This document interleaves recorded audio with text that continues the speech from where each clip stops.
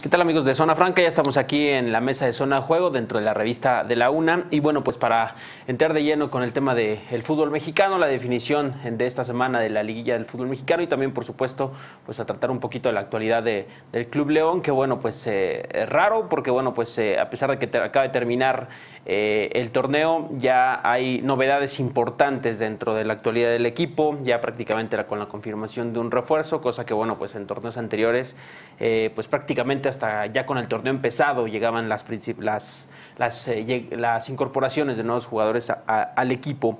Eh, por lo pronto, bueno, pues eh, hoy damos también, por supuesto, la bienvenida a Daniel Rodríguez, que también ya va a estar acompañándonos a partir de esta semana. Bienvenido, Daniel. ¿Qué tal? Muy buenas tardes. Es un placer estar aquí. Gracias, gracias, Daniel. Y bueno, también está, estará con nosotros vía telefónica también Luis Castañeda de la página de Dale León, la comunidad deportiva, hablando acerca de, de la actualidad. ¿Nos escuchas por ahí, Luis? Muy buenas tardes.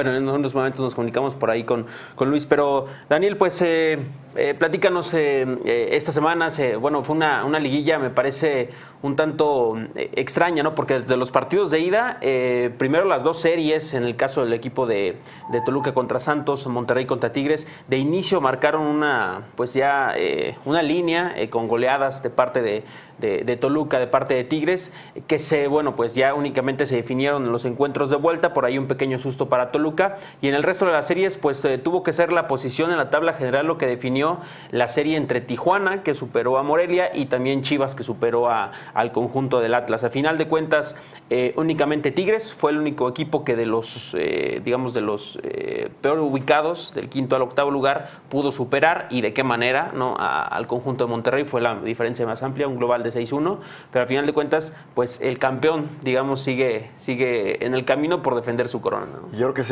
más vigente de todos los que están actualmente como competidores o como favoritos para ganar el torneo. Primero, empezar por la serie de, Santos contra Toluca, que, creo que incluye en esa llave los, los equipos menos favoritos, en mi opinión, para, para llevarse la, la, liga de, de, este certamen. Porque, eh, bueno, pues vimos que fueron sumamente irregulares. ambos salieron goleados en, en, en, este, en, esta, en esta serie y quiero hacer o poner como ejemplo que ya el Barcelona fue goleado en, esta última Champions League y cayó en, la siguiente fase. Entonces yo, yo, no creo que un equipo como Toluca, que, que, es, eh, que sale avante en esta irregular serie, pueda llegar más allá. Y sobre todo que fue goleado como local, ¿no? Primero le pega eh, a Santos, que ya se habían enfrentado la última eh, jornada de temporada regular, empataron a dos, y después, bueno, pues le pegan 4-1 a Santos, pero realmente Santos en este encuentro de vuelta, ya con las reincorporaciones que estaban suspendidos, no jugaron el partido de ida, tanto Yanini Tavares como el caso de Walter Sandoval, pues se vieron mejor en el de vuelta, sin embargo, pues no les alcanzó el tiempo, ¿no? Para, para, para regresar en el marcador. Y, Toluca adolece de los dos sectores. Creo que Alfredo Talavera no está en su mejor momento del campeonato y Tribeiro y Zambuesa se perdieron gran parte del torneo. Entonces, dudo mucho que en esta última fase vayan a lograr la compenetración que no han podido tener. Así, y bueno, pues esa fue la, las llaves. La otra en el clásico regiomontano, pues únicamente hubo un equipo sobre la cancha y un jugador, ¿no? André Pierre Quiñar, que se llevó la eliminatoria. 14 eh, goles en 16 partidos de liguilla, es el récord del francés. Que si bien en este último año, en, los, en la temporada regular, pues se ha ido flojo, tres goles, cinco goles eh, en los dos torneos, pues en liguilla ha demostrado que pues es eh, un jugador que está hecho para este tipo de definiciones, ¿no? Para momentos donde hay demasiada presión. Y, lo importante de, este jugador es, y además de, Tigres y el Tuca Ferretti en general, es la forma en cómo toman los primeros 10 partidos casi como pretemporada de liga. Y a partir del, del onceavo ya empiezan a apretar un poquito más el acelerador y bueno, pues vemos que Quiñac de los últimos 10 partidos ha metido 7 goles. Y que Tigres además en los últimos 10 juegos, 7, 8 partidos han sido ganados por diferencia de más de 3 goles. Entonces yo veo a un Tigres como un absoluto favorito. Sí, bueno, pues sin duda alguna, no por nada es el campeón. Eh, veremos que si le alcanza, ¿no? Eh, para, para, hacer, eh, para continuar con esta racha en semifinales. tiene pues a este hombre que está enrachado, André, André Pierre Guignac. Y en las eliminatorias del, que se definieron tanto jueves como domingo, bueno, pues fueron las más, las más cerradas. Me parece que, Chivas, aunque alcanza a vencer 1 por 0 al conjunto de, del Atlas, eh, todavía le cuesta mucho al equipo de Chivas, viene mermado, eh, no está en, sus mejores condiciones, las lesiones lo han afectado muchísimo, ahora tuvo que, Matías Almeida tuvo que incluso eh, pues improvisar con la incorporación de Néstor Calderón en el medio campo, como en la recuperación de la pelota, y que bueno, pues al final una jugada me parece también un tanto fortuita, esta es la que vemos, en donde está en buena posición Orbelín Pineda, pero pues con este gol empata el global y se termina la serie uno por uno. Sin embargo, bueno, pues la posición en la tabla general es la que termina por darle el pase al equipo de Chivas. Sí, en esta serie también creo que son equipos con, una, con fuerzas muy similares. Equipos muy jóvenes. Eh, Atlas jugó con, en la vuelta con nueve, de, nueve mexicanos de, de los once posibles. Y bueno, pues al final la diferencia, como, como tú dices, es, es un asunto fortuito. Yo veo que Chivas adolece mucho en el último sector una vez que pasa a los tres cuartos de cancha le cuesta mucho el último, el, penúltimo toque, le cuesta mucho sacar un buen centro, le cuesta mucho la diagonal. Eh, producto de esto, eh, solamente metió un gol en estos dos partidos. Y creo que lo más fuerte de Chivas es el buen orden defensivo que tienen. Creo que su, su, bloque defensivo llega en un buen momento, sin embargo, tampoco veo como, como un favorito al título bueno, o en estas semifinales a, a, las Chivas. Sí para pasar a, la final, pero yo creo que el campeón sale del último duelo que nos falta por, por analizar, que es eh, Tijuana contra. Así. Tenemos en la línea telefónica a Luis. Todavía no, bueno, en un instante vas a, hablamos con él. Eh, pues sí, realmente son series interesantes. La, siguiente serie justamente fue la de eh, Cholos contra, contra Morelia, en donde, bueno, pues eh, justamente Cholos estuvo a punto, ¿no? De sufrir otra vez esta situación de, la famosa maldición del, del superlíder. Morelia también mermado por la ausencia de su goleador Raúl Ruiz Díaz, que no, no pudo jugar el partido de vuelta, salió lesionado en el duelo, en el primer partido de la serie, y que, pues a final de cuentas, también únicamente un gol es suficiente para que Tijuana eh, consiga su pase a semifinales y que, bueno, pues a final de cuentas también en esta zona ya también eh, va a ser peligroso el cuadro, el cuadro tijuanense, ¿no? Le alcanza con lo, con lo poco, con, el resto, pues eh, fue con lo mínimo con lo que Tijuana consiguió, consiguió su pase, ¿no? Sí, fíjate que a Tijuana le cuesta mucho defender cuando los ponen a correr contra su portería. y, creo que esto va a ser lo, que va a significar el factor definitivo entre Tigres y Tijuana, que, Tijuana pues parece más un, campeón de los tiempos de antes, porque lleva dos torneos siendo líder. Sin embargo, en, en, la liguilla pasada pues se cayó de forma dramática y en esta no se ve tan consistente como, como lo podría indicar el hecho de que termine esos torneos como super líder. Pues sí, el, torneo pasado fue León justamente quien lo eliminó, ¿no? En la zona, en la fase de cuartos de final. Y ahora estuvo a punto, tuvo, eh, justamente Miguel Herrera tuvo que modificar su planteamiento, le dio ingreso al hombre que a final de cuentas mm, terminó por marcar el gol definitivo, Henry Martin, eh, quitó a un jugador de zona defensiva, incorporó justamente a Henry Martin en el ataque y bueno, pues eh, él fue quien consiguió esta esta anotación. Ahora, eh, pues insisto, calificaron tres de los cuatro eh, primeros lugares. Únicamente Tigres fue el equipo que venció, en este caso, al segundo lugar, General Monterrey, que también se cayó en las últimas semanas. ¿Y de qué forma? Precisamente en el Clásico Regio. Entonces, es el segundo lugar eh, el primer lugar, quise decir, contra el séptimo, que es eh, Tijuana contra el conjunto de Tigres, y después es el tercero contra el cuarto, Chivas contra Toluca, en donde pues eh, me parece que la, serie más, más interesante va a ser, por supuesto, en donde estará el líder, que si bien no llega en su mejor momento, no por nada consiguió esa posición en la tabla general, pero llega de, ciertamente, de cierta manera también, a lo mejor no con números no tan, no tan pobres, y en el otro caso está Tigres, ¿no? Que bueno, pues eh, es el equipo mejor enrachado que viene desde la fase, desde la fase regular. Ahí me parece que podríamos encontrar eh, el, campeón, ¿no? Tigres buscando el bicampeonato y Cholos, que pues sería eh, su segundo título, ¿no? La otra serie, Chivas contra Toluca, equipos que pues son dos de los tres equipos que tienen más campeonatos en, la, en, la, en el fútbol mexicano y que bueno, pues buscan después de amplios periodos, ¿no? Toluca su último título fue en el 2010, Chivas el último fue en el el 2006. Entonces tienen algunos años, por lo menos siete en el caso de Toluca, en donde no consiguen levantar el título y ya necesitan, por las instituciones que, representan, conseguir el, título, ¿no? Sí, eh, yo insisto que es, eso es un asunto de consistencia. La liguilla es el que llegue mejor o el que llegue de, forma más consistente es el que se puede llevar el campeonato. Yo veo un, Chivas Tijuana con, con dos equipos irregulares, con dos equipos que que no han, yo no vi, no sé si estás de acuerdo conmigo, pero yo no vi un Tijuana con esta actitud de liguilla, a, matar o morir. Chivas tiene problemas, problemas severos de, ataque y de, finalización. Y por el otro lado, pues sí, sí, sí, tenemos a, un Tigres que viene enrachado, que viene goleando, que, que aplastó a su rival factor anímico, ritmo, su goleador está enrachado, entonces sí veo un, absoluto favorito, sin embargo, fútbol mexicano.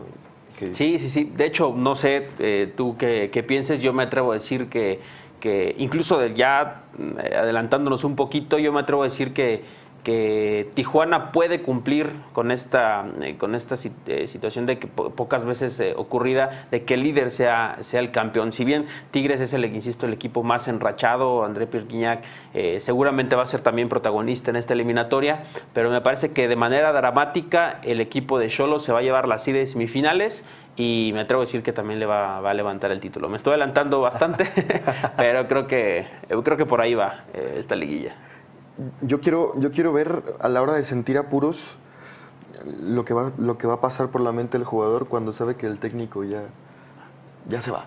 Ajá, sí, sí, sí. Es, otro ingrediente extra, ¿no? que tiene el cuadro de Tijuana, el famoso, eh, pues toda esta polémica generada a la, a la posible salida de Miguel Herrera y la llegada al cuadro de las Águilas del América. Y no nada más el caso del técnico, ¿no? Sino dos de sus baluartes eh, en, el, en, el terreno de juego, como lo es Guido Rodríguez y Avilés Hurtado. Me parece que también por ahí podría, eh, pasó con el equipo de, de América, ¿no? Que el torneo pasado, que ya, incluso ya durante la liguilla família eh, pues se habló de la, del fichaje de Agustín Marchesín, de la salida de Osvaldo Martínez, de Ventura Alvarado, y bueno, realmente América se quedó a minutos ¿no? de conseguir el título, y mucho fue justamente por, por eh, el entorno que se generaba en, a esta situación de la llegada de jugadores, la salida de hombres también como Moisés Muñoz, y también me parece que por ahí podría, podría darse una situación similar con América, aunque bueno, en su momento se quedó, insisto, a cinco minutos de, de alcanzar el título. ¿no? Y me parece que,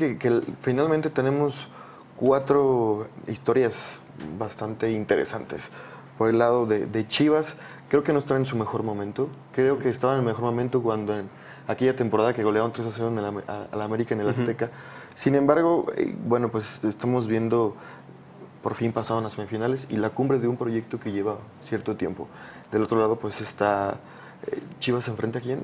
Eh, contra Toluca. Toluca cumple 100 años. Eh, entonces tiene, tiene ese otro factor anémico. Cholos creo que está en su, en su décimo aniversario. Y por ahí pues Tigres que viene como el dominador y como el amplio, amplio favorito en, en, cuanto a nómina y en cuanto a, hombre por hombre. ¿no? Entonces creo que tenemos series muy atractivas. Sí, sí, sí, son series interesantes. Insisto, las de Tijuana contra, eh, la de Chivas contra Toluca son dos instituciones, insisto, las dos de las tres con más títulos detrás de, de América y pues aquí ya le surge un, título ¿no? en los años recientes, Toluca 2010, Chivas 2006. En el otro lado, Tigres defendiendo el centro y pues Tijuana, una franquicia nueva que busca su segundo título. Eh, en lo personal, aunque eh, de manera, eh, por, lo, por, que veo en la cancha, me parece que Tijuana sí tiene lo suficiente, aunque no, no digamos, no es ese equipo ah, pues que arrolla a sus rivales, ¿no? imponente como lo está luciendo Tigres, pero me parece que dadas las circunstancias del fútbol mexicano que sabemos que eh, pues eh, aquí en la liguilla eh, pues son torneos diferentes, cada, cada, fase me parece que a Tijuana le puede alcanzar. Y también como aficionado, ¿no? De repente es padre ver franquicias nuevas, ¿no? Lo vimos el año pasado con Inglaterra, el caso del Leicester City que consiguió su primer título, ahora estuvo peleando zona de descenso, pero pues es un equipo que no es acostumbrado, ¿no? A, pelear en esas zonas y lo es Tijuana, ¿no? Que bueno, pues es un equipo prácticamente nuevo y que también sería interesante ver un campeón distinto, ¿no? A lo que y más en un fútbol tan irregular como el mexicano. Y hacer también mención de los que quedaron fuera en un, en un fútbol donde bueno, Tigres y Monterrey son los millonarios, luego siguen los cuatro grandes que son América, Cruz Azul, Pumas y Chivas y después queda Toluca y Pachuca, que son los reyes de los torneos cortos, pues se metieron a la guilla Atlas y Morelia. Morelia, en, que creo que salvando bien la situación, generando un buen volumen de juego y dando una buena cara contra el líder. Sí, y que se quedaron a, minutos, ¿no? Tijuana, o sea, precisamente Atlas y Morelia, eh, que a lo mejor en la liguilla lucían como los equipos eh, tales eh, más endebles, pues me parece que pues, en el global no perdieron, ¿no? Únicamente fue la cuestión de la tabla general lo que los dejó fuera y que bueno, pues veremos, sobre todo en el caso de Atlas, si continúan con ese trabajo, pues será interesante ver lo que puedan hacer en los torneos futuros, ¿no? Y Morelia, que bueno, pues también se salvó del descenso, pero mucho se ha hablado también de la venta, ¿no? De, de, parte de TV Azteca al, equipo, ante, bueno, pues eh, conociendo que, bueno, ahora Atlas pasó a ser, digamos, el, el, hermano mayor, ¿no? De esta, de, este, de esta multipropiedad. Sí, sí, y creo que hay buenas bases en los dos equipos. Eh, se hablaba de que cuando compraron Atlas desmantelaron Morelia para reforzar un poco más el Atlas y que esa situación los llevó hasta el peligro del descenso. Pero creo que han hecho dos buenos conjuntos.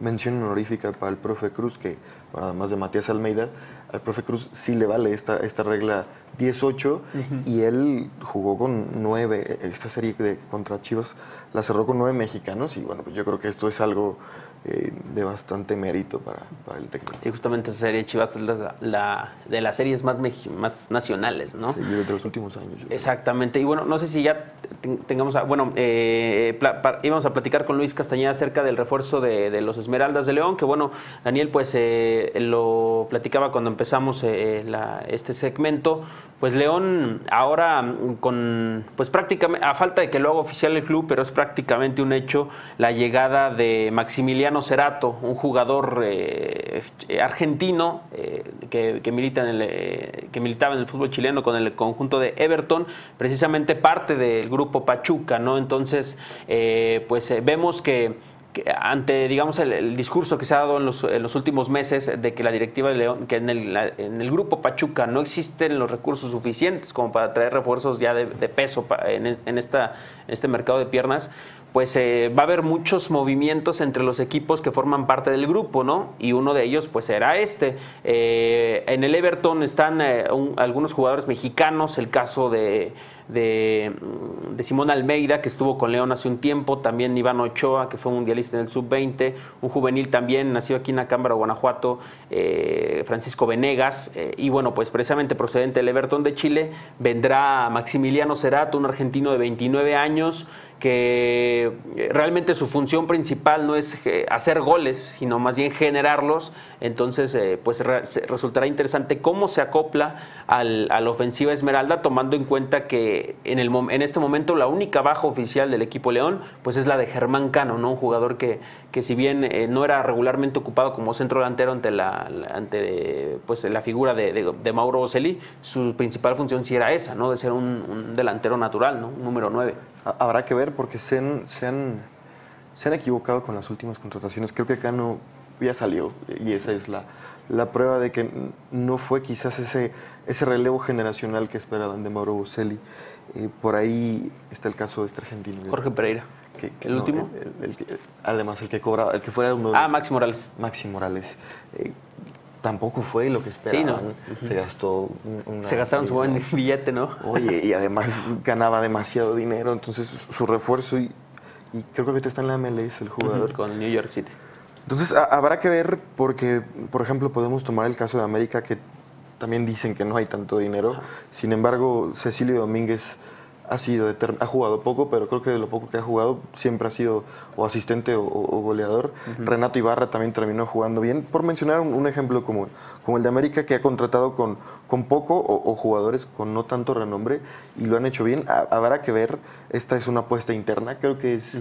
es y que no les va a costar tanto, ¿no? Eso es si una si funciona, tendría que ser un negocio efectivo, porque todo es un manejo interno, es un jugador que ellos deben de tener visto, inclusive al técnico o, al, cuerpo técnico en general se lo han de ver expuesto, entonces habrá que darle el beneficio de la duda a, la decisión interna del club. Así es, esa es la, digamos, lo, que ya prácticamente está seguro, aunque el club no lo ha hecho oficial.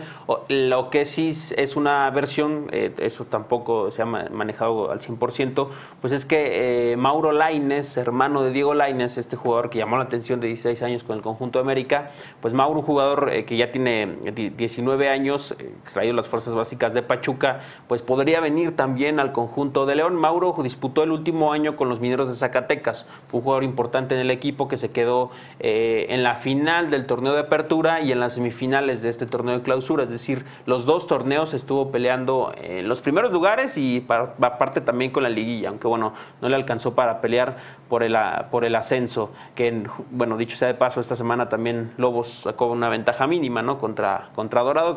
Este fin de semana se juega el partido de vuelta. Entonces, Mauro Laines eh, puede ser también una opción interesante. Muchos se ha hablado de este jugador también, incluso se hablaba de que sería el digamos, el heredero del puesto o, que ocuparía el sitio que dejaría vacante Irving Lozano en una tentativa salida, en una hipotética salida, eh, mejor dicho, eh, al fútbol europeo en el presente en el, presente mercado de piernas. Entonces, pues se habla muchas cosas buenas de este jugador. Eh, ha, sido seleccionado en selecciones en combinados menores de, México y pues veremos si se concreta o no, ¿no? Ya varios jóvenes han venido de parte del grupo Pachuca León, algunos han fracasado. En su momento me parece los que únicos, los que han tenido más éxito fueron los que vinieron para conseguir el ascenso, ¿no? El, caso de Montes, el Aris, eh, Meritón Hernández, el mismo Gullit, pero en los años recientes no ha habido un jugador que destaque eh, siendo joven que venga procedente de las fuerzas básicas de Pachuca. Es cierto, y le han dado, por el contrario, muchísima proyección, sobre todo a los futbolistas argentinos. Entonces por ahí, por ahí sería interesante saber por qué, por qué existe esta promoción al, al, futbolista argentino. Y sobre todo, a mí, a mí me, me, causa la interrogante de qué van a hacer en el sector defensivo. Antes de, arriba. Creo que arriba el equipo no está tan flaco. No está tan flaco. Sin embargo, en, el sector defensivo sí, sí ha adolecido y bueno, pues ahorita que, que, hay tiempo y que es, pues creo que el periodo más largo para poder preparar un equipo, sería importante poder contratar eh, con, mucha más efectividad que, los últimos años. Sí, y, la, y bien lo comentas, la parte de la central, ¿no? Es donde también me parece que deben de estar muy al pendiente la directiva del conjunto de Esmeralda. Guillermo Burdizo se va a perder el torneo. El caso de Diego Novaretti, que bueno, eh, Javier Torrente prácticamente está pidiendo que se quede, a pesar de estos problemas de indisciplina que lo dejaron fuera 13 de los 17 partidos del torneo de este torneo que, que apenas está concluyendo.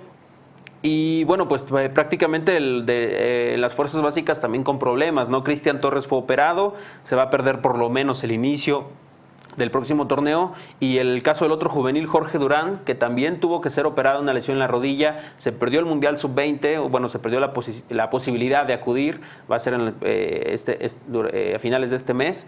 Eh, y que bueno también se va a perder buena parte del próximo torneo. Así que pierdes a tu defensa titular o tu defensa estelar en el primer equipo. Y los juveniles que vienen detrás los jugadores de fuerzas básicas también están lesionados. Entonces va a adolecer mucho León que me atrevo a decir que aparte de, que se mantenga Diego Novaretti, eh, aparte que tendría Nacho González, me parece que también sería importante tener por lo menos una o dos incorporaciones ¿no? de futbolistas nacionales con un poco más de experiencia, ya consolidados en el fútbol mexicano tal vez, eh, que vengan a apuntalar esa zona, porque sí va a ser de las, eh, al menos en este momento, es de los más débiles del equipo. ¿no? Y además a este León ya le urge una, una nueva época porque cada vez se ve más lejano el bicampeonato. Entonces, sí creo que, si empezaron de manera excelente este proyecto de primera división con un bicampeonato, no pueden dejar pasar más años sin al menos ser protagonista de, una liguilla. ¿no? Entonces, empezar a contratar bien, ya se vio América, Chivas, Pachuca, eh, mismo Tigres con el caso de este jugador Jesús Dueñas. Eh, hay, hay, en todos los equipos al menos un canterano, dos canteranos que, que, además levantan el nivel en general de, de, los posibles convocados a selección mexicana. Entonces, yo creo que León y, Grupo Pachuca en general no se pueden quedar atrás con este proyecto y, sí sería importante empezar a apuntalar y a darle el, acertado cambio generacional que, que ya se necesita. Sí, sí, sí. O también se habla del regreso de Aldo Rocha, a menos de que Morelia diga otra cosa y haga la efectiva la opción de compra. Pero bueno, Aldo Rocha también estaría regresando al conjunto de los Esmeraldas. Así está la actualidad del equipo. Y bueno, eh, yo ya di mi, eh, regresando un poquito a las semifinales de la Liga MX, yo ya di mi pronóstico, incluso adelantado. No sé tú qué, qué piensas. yo, yo, creo que Chivas, Chivas se va a llevar la serie con, con Toluca. Me parece que Chivas es un equipo con, al menos con un mejor orden defensivo si por ahí se, tienen una buena racha o hacen un, un, buen partido o una buena serie pueden ser finalistas. Yo veo a Toluca muy inconsistente, dudo que, que de repente ese trío que no ha jugado, que es Sauche, Zambuesa y Tribeiro, se vayan a conectar en, en, un partido. Se conectaron en el primer partido contra Santos, pero después no, bueno, pasó, pasó lo que pasó con ellos. Y de Tigres Tijuana vamos a diferir porque creo que, creo que Tigres, creo que Tigres se la va a llevar. Creo que, que Tigres es mucho más consistente en defensa y en ataque. Y eh, a Tijuana siento, porque, porque ha pasado, sobre todo con los temas eh, de Coapa, creo que lo va a desestabilizar para dar el golpe de pecho al jugador, el saber que, que Miguel Herrera ya está prácticamente fuera. Entonces vas eh, Tigres, Tigres Chivas. Tigres Chivas. ¿Y teníamos a decir el campeón o no? ¿O mejor te aguantas? Tigres, no, Tigres. Tigres va, bueno. Pues, un poco. Va, va, a haber bicampeón para, para Daniel, entonces ahí están los. Yo digo que Cholos, eh, tal vez. Yo sé que es arriesgado, la verdad, porque sí eh, se ve mejor eh, embalado, mejor equipo armado, y, tanto en lo colectivo como en lo individual, hay que decirlo. Em, Tigres, pero bueno, pues en una de esas este, también hay que arriesgarnos, ¿no? Entonces yo digo que va a Tijuana. Y, Tijuana ha sido líder dos veces, entonces tiene, tiene mucho pues, pues a ver qué ocurre. Ya la próxima semana estaremos hablando aquí, Daniel, acerca de esa, de esa cuestión, eh, ver cómo se desarrollan las, las, semifinales, que dicho sea de paso ya, ya hay horarios. Eh, las dos van a ser tanto jueves, eh, va a ser a las 7.30 de la noche, a las 9.30 de la noche los partidos de ida y el domingo eh, también a las 6 eh, de la tarde y a las 8 de la noche son los encuentros de vuelta, eh, tanto jueves como domingo. Así que miércoles y sábado no hay partidos, hasta el jueves y hasta el domingo se definirán pues estas series semifinales de la Liga, de la Liga MX. De acuerdo, habrá que esperar. Entonces son, son jornadas largas de fútbol. Así es, y porque bueno, en el ascenso también se va, a ser interesante la definición. Recordar que si eh, Dorados, que está perdiendo 1 por 0 en, en, el global en este momento ante Lobos WAP, si queda campeón Lobos, se vuelven a enfrentar eh, en las siguientes semanas para definir al, equipo que, ocupará pues, el lugar que, deja, deja, vacante Jaguar de Chiapas. Pero si Dorados queda campeón, bueno, pues eh, ya no habrá final de ascenso y Dorados, al ser campeón en los dos torneos, ocupará dicho sitio. Así que todavía nos espera por lo, eh, por lo menos pues, dos semanas de, fútbol y prepararnos también porque viene la, Copa Oro y la Copa Confederaciones, ¿no? ya, también será, tiempo de hablar de, ese, de esa cuestión, ver qué jugadores van a la Copa de Oro, qué jugadores a confederaciones, porque de León, bueno, pues los que lucen con muchas posibilidades, más bien para ir a Copa Oro, son Luis Montes y Elis Hernández. Van a armar, creo que van a armar dos buenos equipos. Creo que van a ser dos equipos competitivos. Regresando a lo del ascenso, eh, mención para Rafa Puente Jr., que en un caso atípico era comentarista, directivo, y, después, o ahora se ha convertido en un exitoso técnico, porque como debutante ya llevó a un, a un equipo que no es de los favoritos en la Liga de Ascenso hasta, hasta una instancia casi previa al ascenso. Entonces, un gran trabajo de este, de este joven entrenador. Así es, bueno, pues ya la semana que entra estaremos hablando eh, de esta situación y vemos también qué ocurre con la actualidad del equipo. Vamos eh, si, si hay nuevas eh, incorporaciones o, salidas confirmadas, o se confirman algunas salidas de parte de los Esmeraldas de León. Así que bueno, pues por lo pronto llegamos al final. Gracias Daniel, nos vemos la, semana, la, siguiente semana. Es un placer, muchísimas gracias. mi nombre es Omar Morales y bueno, también llegamos al final de, de la revista de la UNA en la edición de este, de este lunes. A nombre de Arnoldo Cuellar y de todos los colaboradores le agradecemos que hayan estado con nosotros y nos, nos vemos mañana, mañana martes de nueva cuenta aquí en la revista La Una.